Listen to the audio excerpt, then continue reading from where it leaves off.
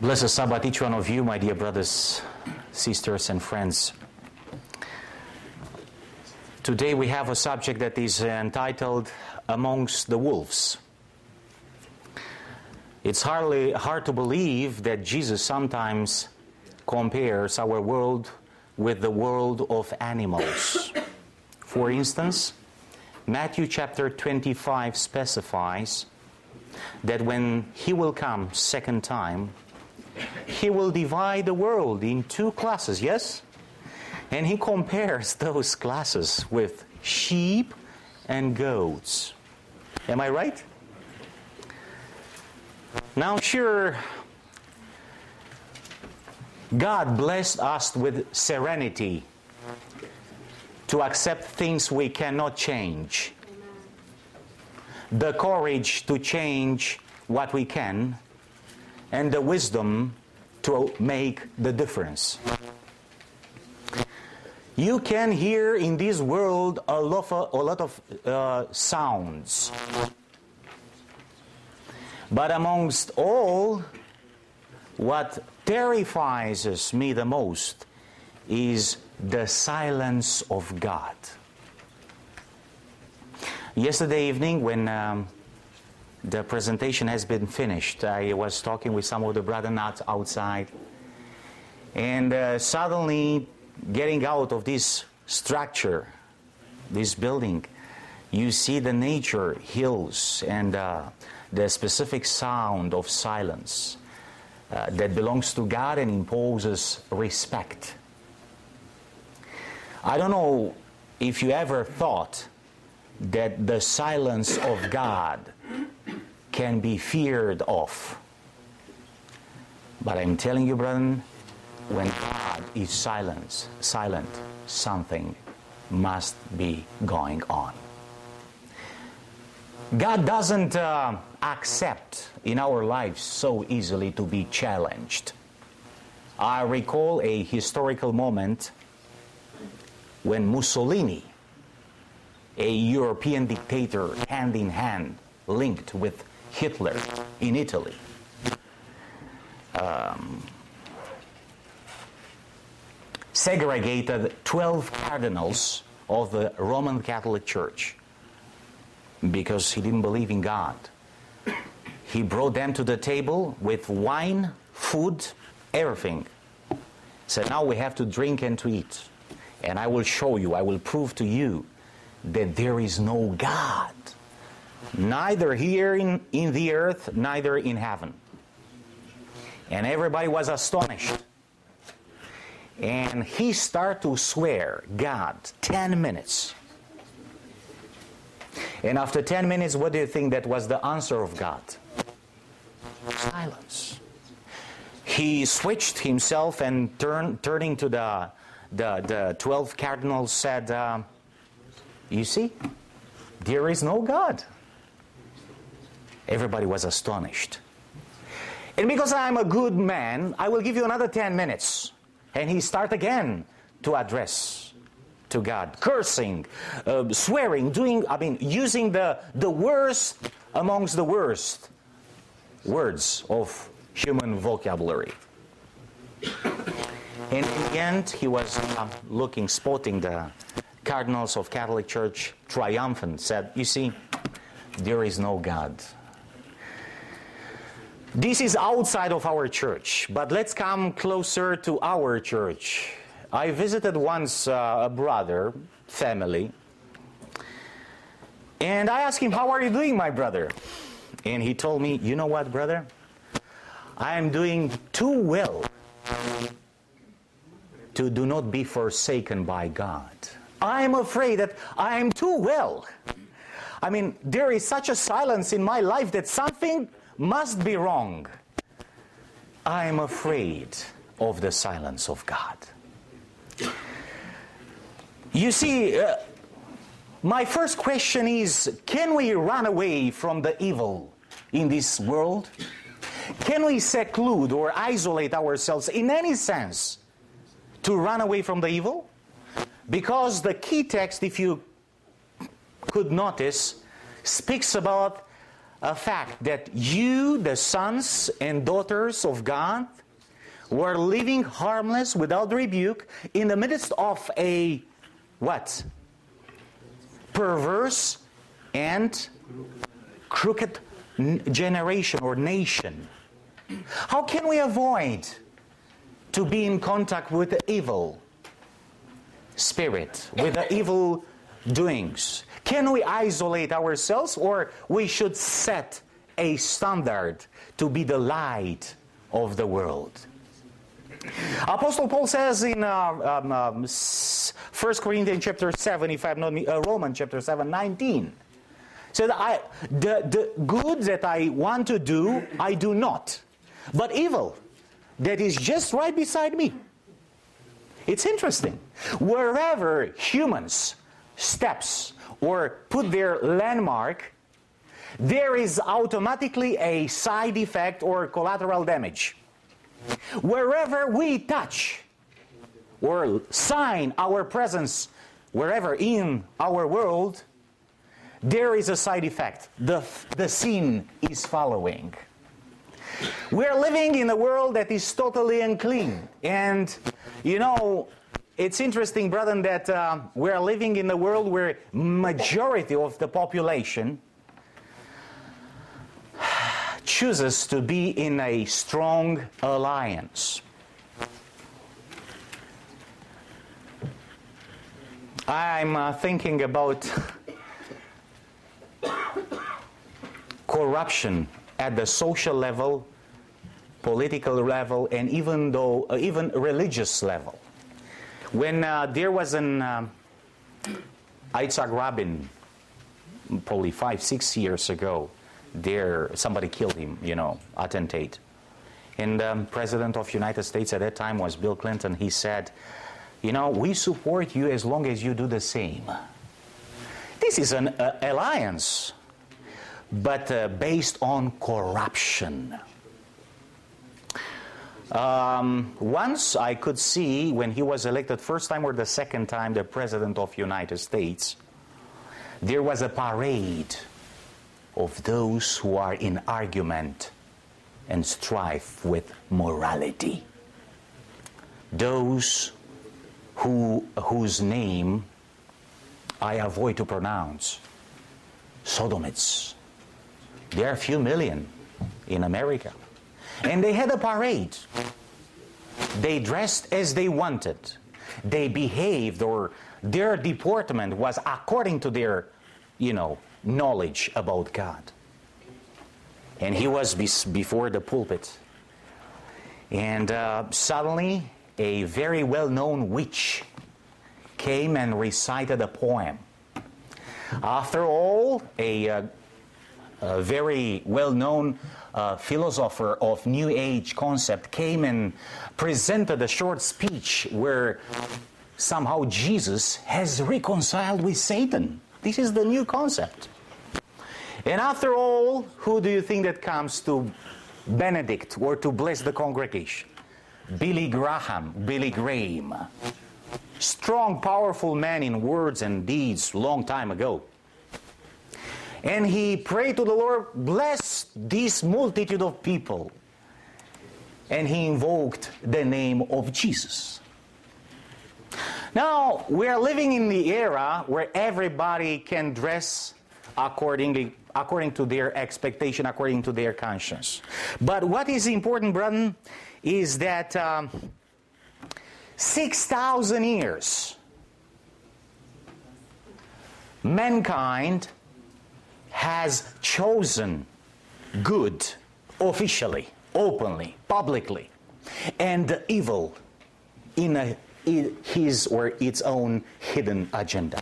6,000 years we said yes officially to God. And basically, behind the curtain, we said yes to Satan. Now we are living in the era where you can uh, assist to a polarization of the values. The good people are going in one side, they are majority, and those good people, they are going in the other side. There's a small, insignificant minority. And I ask you, is good to be like this or not? When everybody has the right to speak and to dress and to act according to their conscience, is, is good or not? Is good, sister. Yes. You know what, brethren? Freedom is for hypocrites. Persecution is for the saints of God.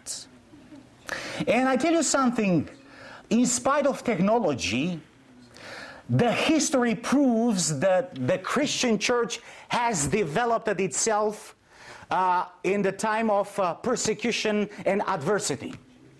As soon as the church received freedom, there took place alteration of the values. And I tell you how. Uh, the new, the recent president of United States had a statement. The objection of you cannot be compared with the majority of uh, alliance of many. The objections of few cannot be compared with the alliance of many. So, in other words, he recognizes that we are living in a worldwide corrupted system.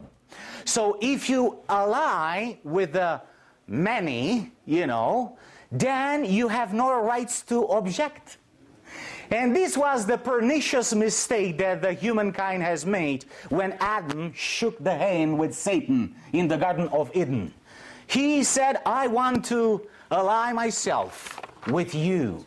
And yes, when you read Mark chapter 5, if I'm not mistaken, uh, you can see the results of the united cooperation or unity between mankind and uh, Satan. When you unite with the alliance, you have no rights to object. Uh, in the Bible speaks about uh, when I came first time in Canada. By the way, I had a problem with the language, and always I was confounding uh, the word alliance with aliens. and was so hard for me to distinguish these two values alliance and aliens but you know what brother? Sometimes we have to combine them because adam has got in a, the alliance of aliens and this is what takes place in this world today. We have to face the alliance of aliens and when you become, or I become, possessed by this alliance, I remember when demoniacs faced Jesus. Jesus is inquired a little bit about this alliance. Which is thy name? Which is your name? And the, the chief of, of the demons said, Our name is Legion because we are many. And I'm coming back to what uh, George Bush said. The objections of few cannot be compared with the alliance of whom? Of many. So now, when the demonics accepted to commit themselves in the hands of Satan, did they have rights anymore to object? No. When you make yourself um, friend, quote and quote, with Satan, the right to object disappears.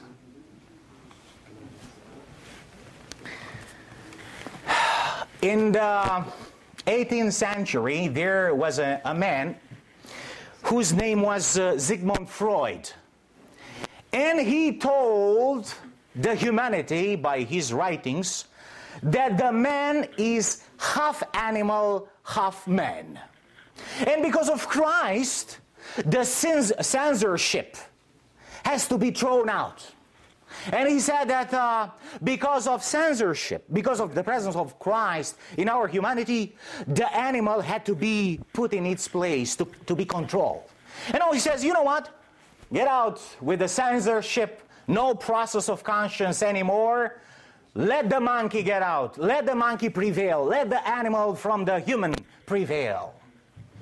And uh, since that time, our alliance in the world prove yes man is sometime animal sometime man depends you know. As the christians are sometime wolves sometime sheep.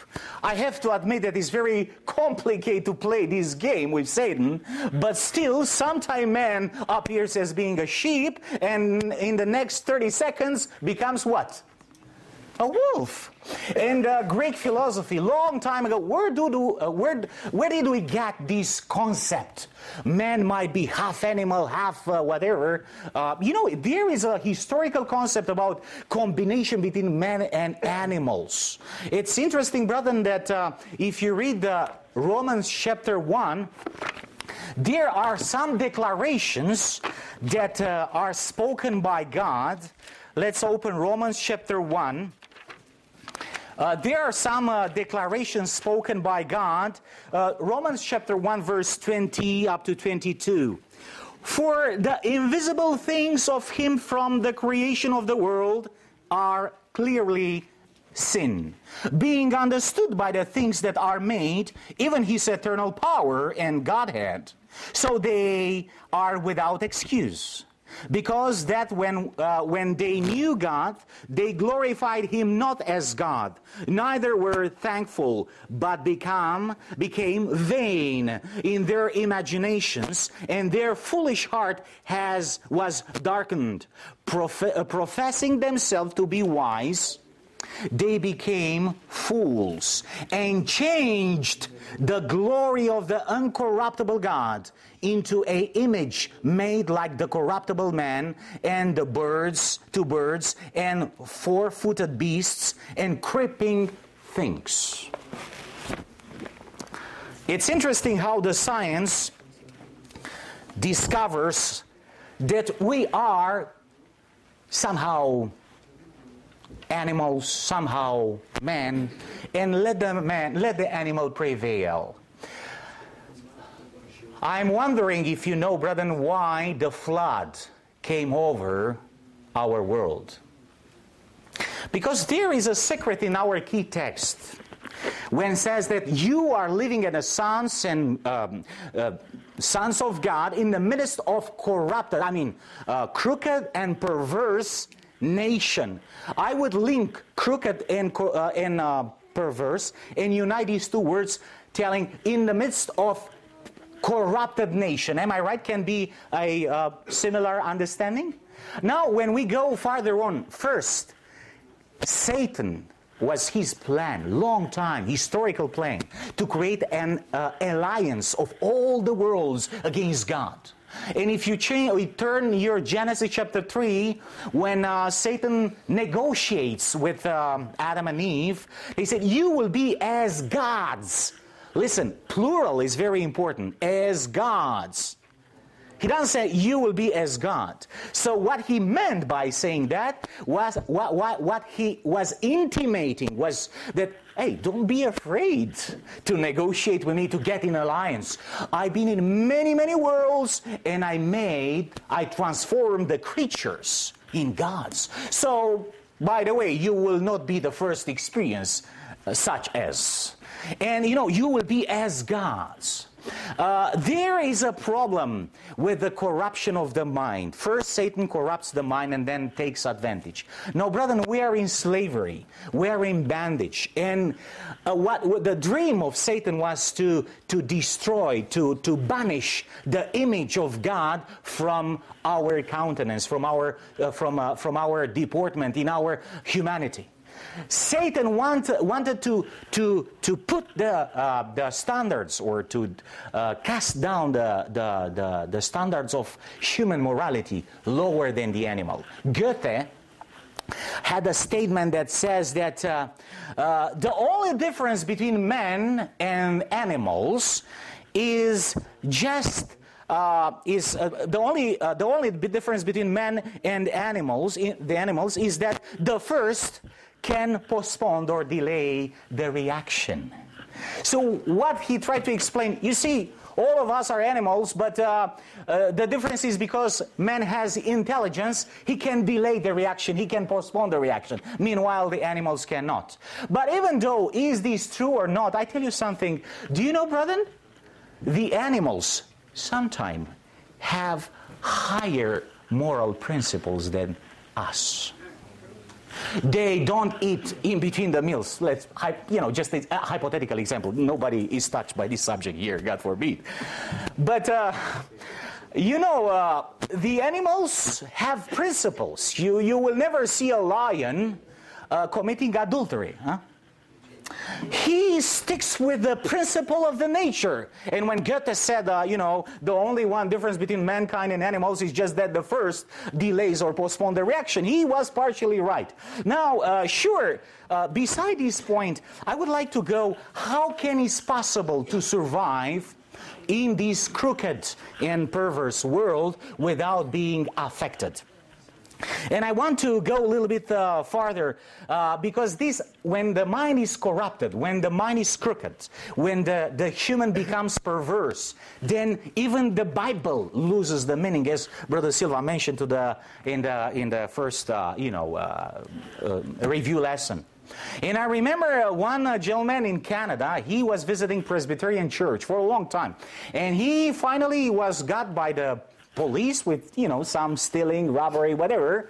And when he appeared before the judge, said, You have to pay, you know, for your deed. And the gentleman said, You know what, sir? I'm sorry, I'm a Christian. And he said, How come you are a Christian? If you are a Christian, why did you do that?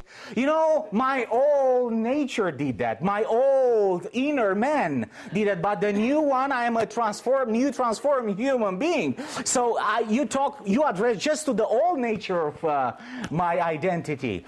And the judge was looking to him, said, You know what? If your old carnal nature, the old man from within you, did that, that old man will receive 30 days of, uh, you know, prison. And because the new man transformed by the power of Jesus was united with the old man, will pre- receive another 30 days. So the old man and the new man will unite in 60 days in prison. This is what means corrupted, crooked, perverse interpretation of cheap grace of Jesus Christ.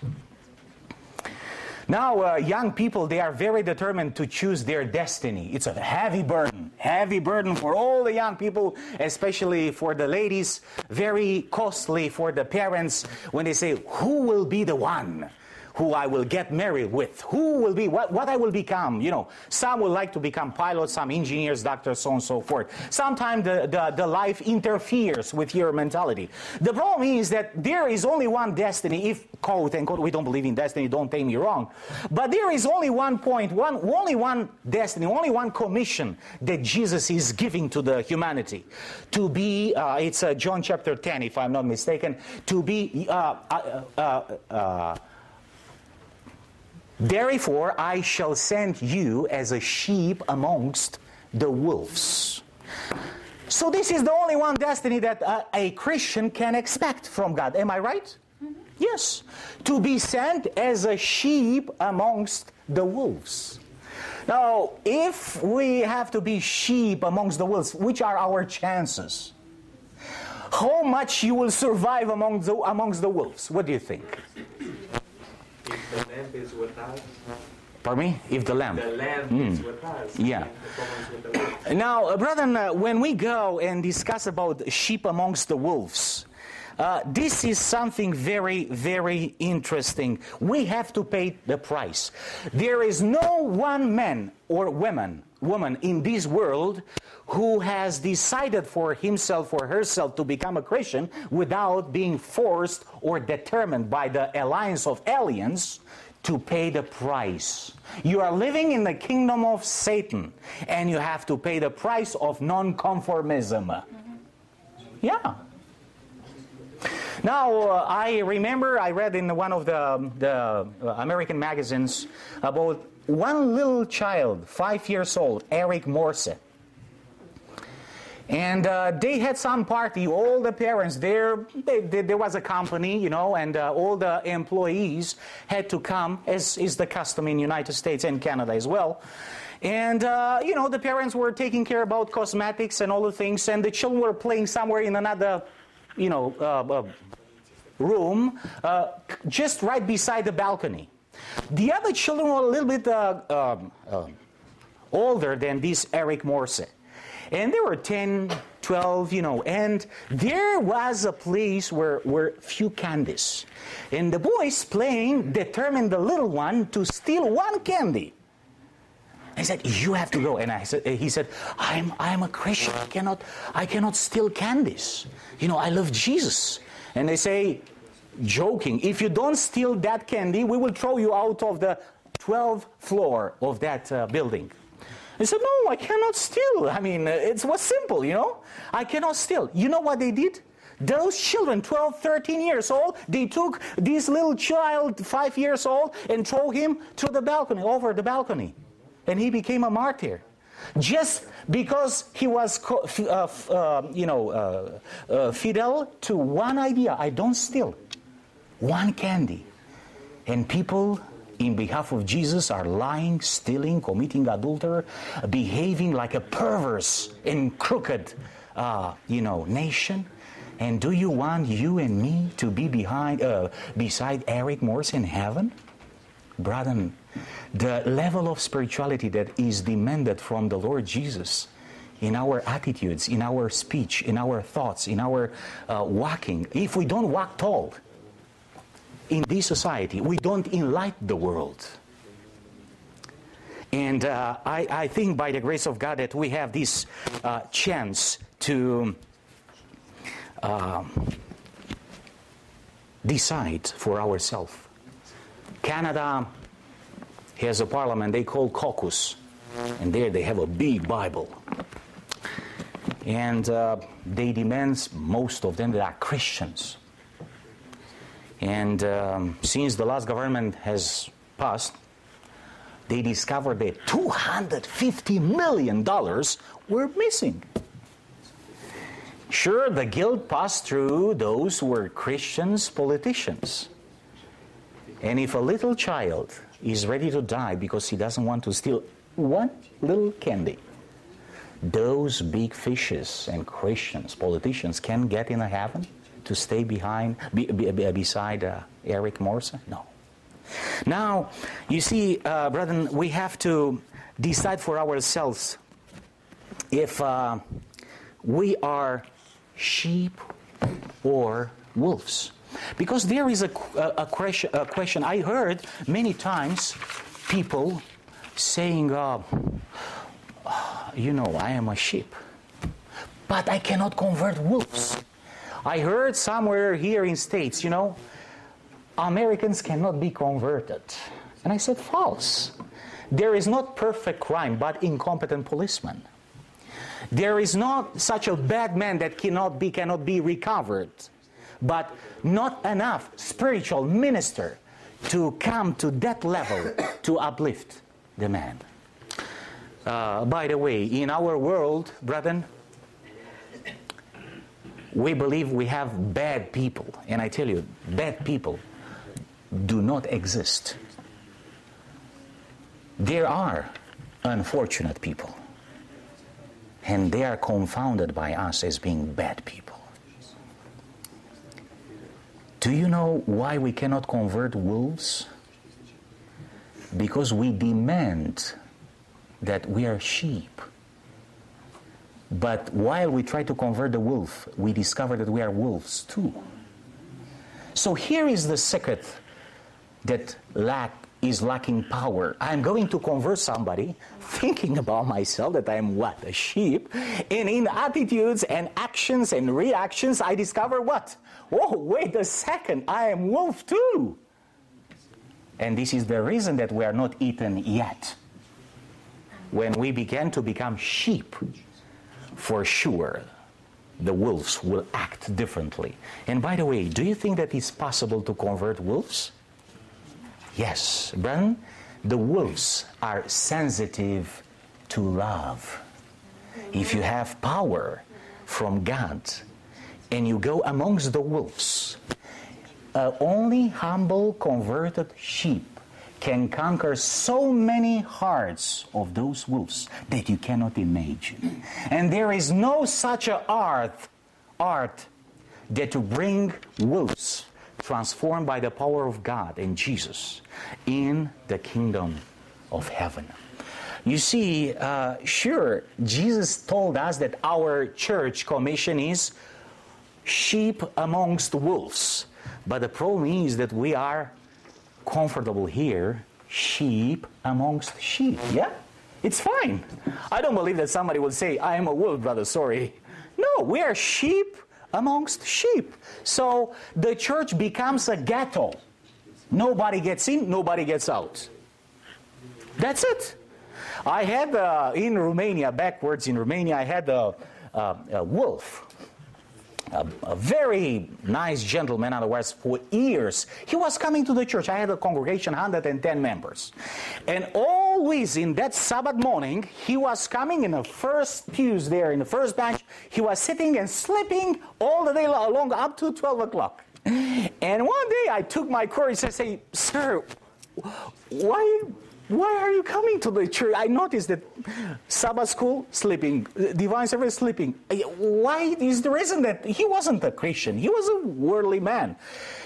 And he said, You know what? Because as soon as the divine service was finished, he stood up, he started to smile, gone.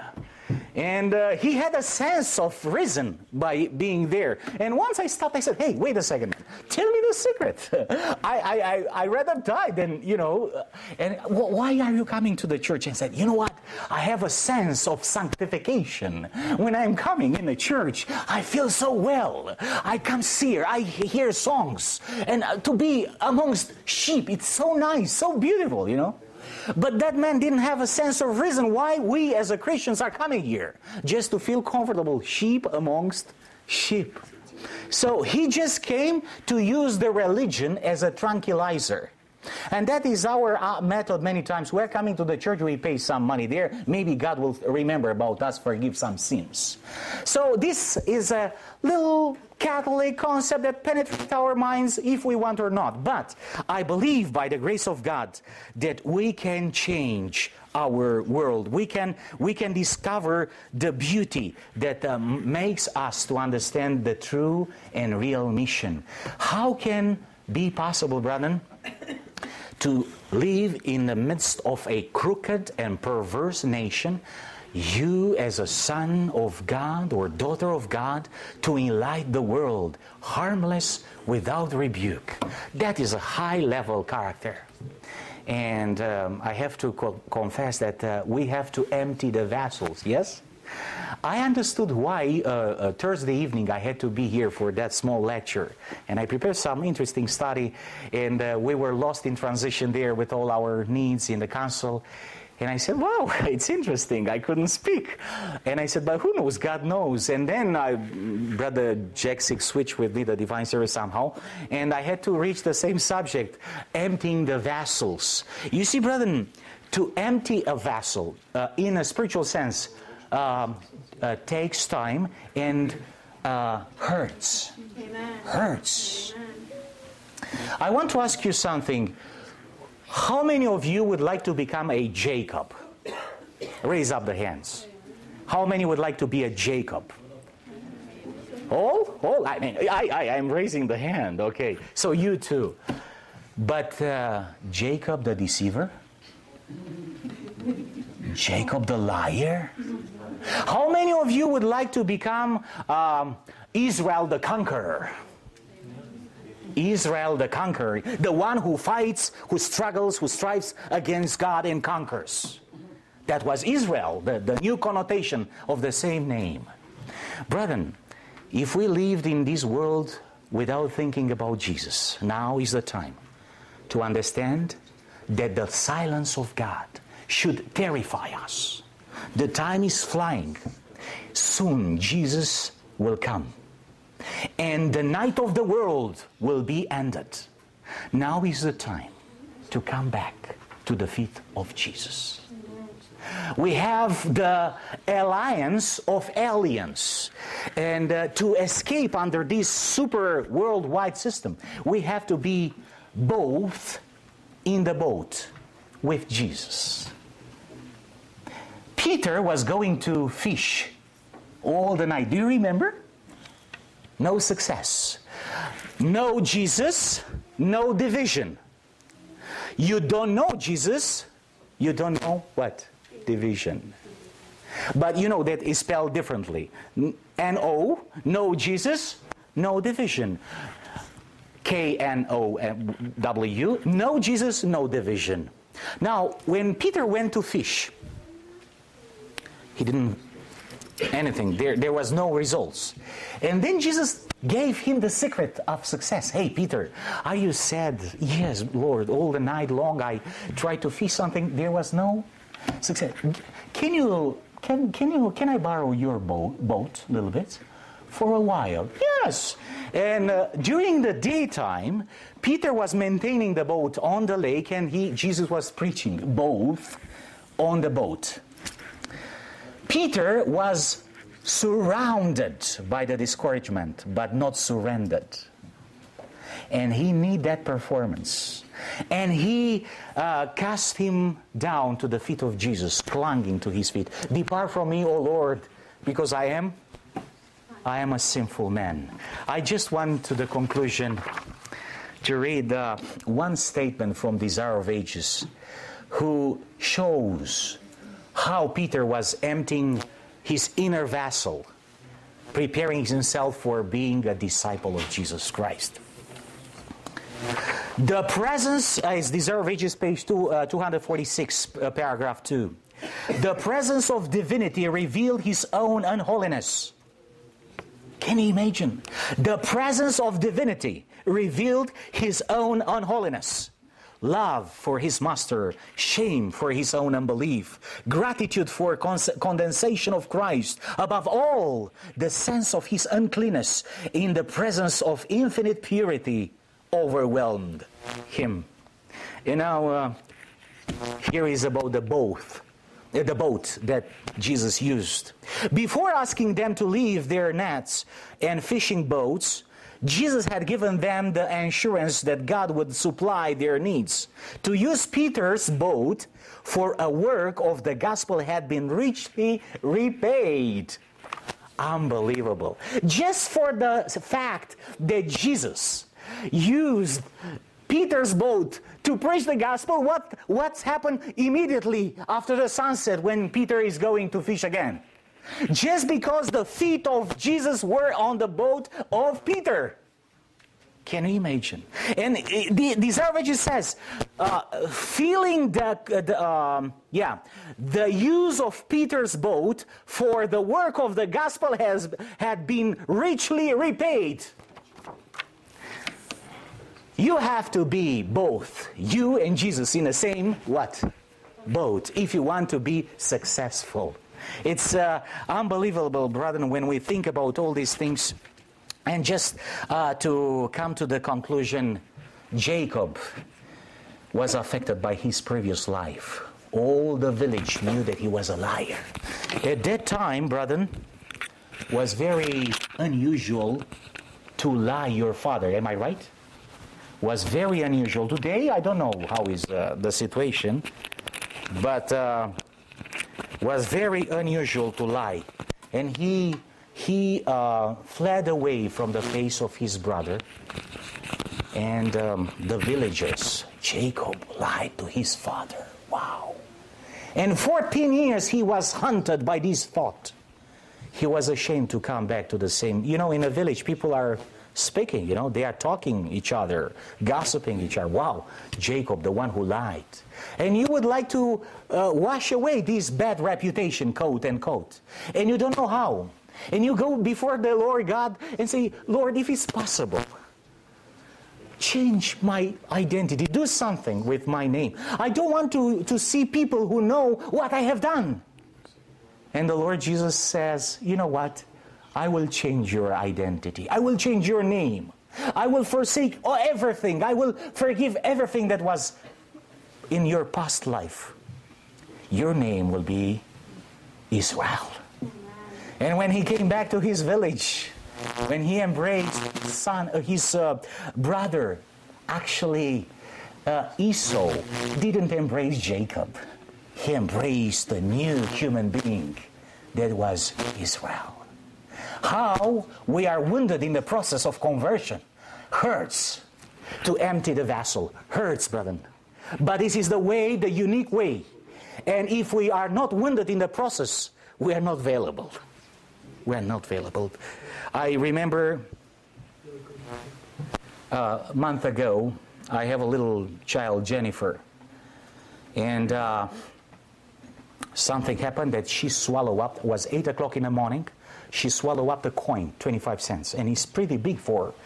And I read a lot of stories. Children died uh, with the candies in their, their larynx and stuff. And I was just uh, preparing myself to get out to go to office, and suddenly my wife was screaming and uh, you know uh, such a commotion. The other two daughters were scared, uh, afraid. I mean, terrified. And I got out of the bathroom immediately, and I went there and I saw my child, three years old. You uh, you are in danger to worship your child when they are small. They, they, you love them very much. And in sudden, my wife collapsed, and the only one, uh, uh, a message that I could hear from her lips was, Jesus, be merciful. You see, when human being reaches such a level, uh, you don't have poems, you don't have sermons. You say just what? Jesus, be merciful. I was looking to the girl. I didn't know what. I, I saw her in convulsion. The face start to change. I said for myself, maybe 30 seconds. I have, you know, to do something. And then, I don't know. I had inspiration from God. I opened forcefully her mouth. I, I pushed the finger, but not so much because I was afraid. I am not a medical doctor, even though I am leading the missionary medical department. and, you know, I, I, I was pushed uh, with, uh, uh, you know, with the fear and anxiety. And I, I noticed that my finger didn't touch the coin, was stuck on the larynx there. And I realized that that is a, a fatal death. And then I, I, she was, you know, she couldn't even cry. You know, she just changed pale, blue, all the colors, the face, because lack of oxygen. And then I pressed again the finger, and I, I squeezed the coins there, and uh, because uh, there was a licking, you know, uh, mucosity, the, the coin was uh, sliding, you know, around my finger. And somehow, I don't know how, I, I could catch the coin without seeing anything, and I, I took, I have taken out. And then uh, uh, uh, she spitted out the, the coin, and the coin was with blood. But she started to cry, and I was happy. Yes, when God takes and empties the vessel with all the demons and all the things, you know, hurts, and we are wounded in the process. But it's important to understand that He, uh, he hurts us because He loves us. And He is not a butcher, He is a surgeon. He cuts to save.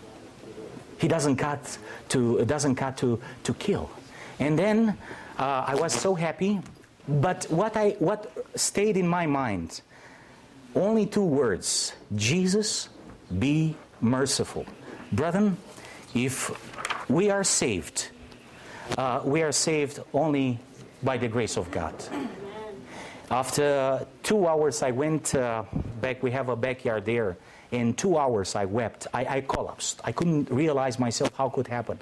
When I came back, uh, my little Jenny approached to me and she laid down the, the head upon my shoulder and she said, uh, Daddy, can you show me the coin? She, in three years old mind, conscience works. And she knew that there was a, a death uh, point of, of, of the situation. And she wanted to show the coin. And then she started to weep, she, to say, Oh, my daddy, my daddy. Um, we have a Father in heaven. And no, mat- no matter how much will cost, if you ask Him to empty the vessel, to fill up your heart with the Holy Spirit, then you are a real sheep amongst the wolves. And you will see how vulnerable the wolves us, uh, are when, when uh, face the real authentic sheep. We are, by the grace of God, sheep. And may the Lord help us, even though we are wounded in transition, in the process of conversion, our name will be changed from Israel, uh, from Jacob to Israel. Why? Because we are saved by grace.